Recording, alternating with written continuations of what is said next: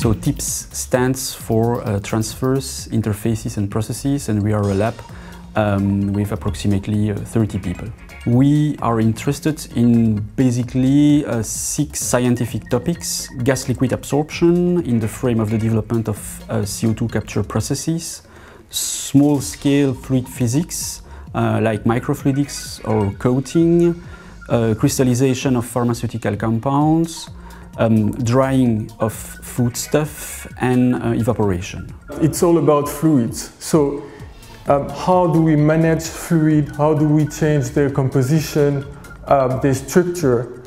Um, and the trend today is to do that at small scale, to have integrated um, tools that allows to manipulate fluids. We have theoretical tools, so we use uh, applied mathematics uh, techniques.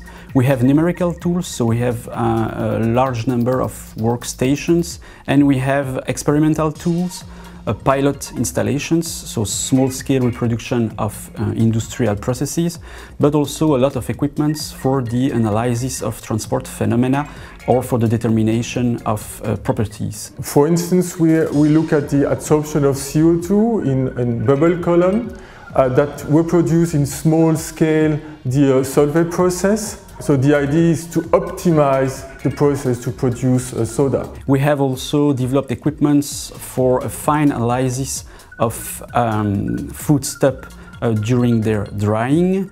We use uh, very fine tools such as interferometers or um, infrared camera or other optical diagnostics um, to look at interfaces. We usually work with uh, industries in the field of agroalimentary, environment, uh, pharmaceutical industries and also uh, basic chemical industries. In the next few years we will really try to develop uh, microfluidics in uh, the laboratory and we have a huge project that will probably start uh, in September and the objective of this project is try to develop small scale pharmaceutical processes for the continuous production of um, pharmaceutical compounds.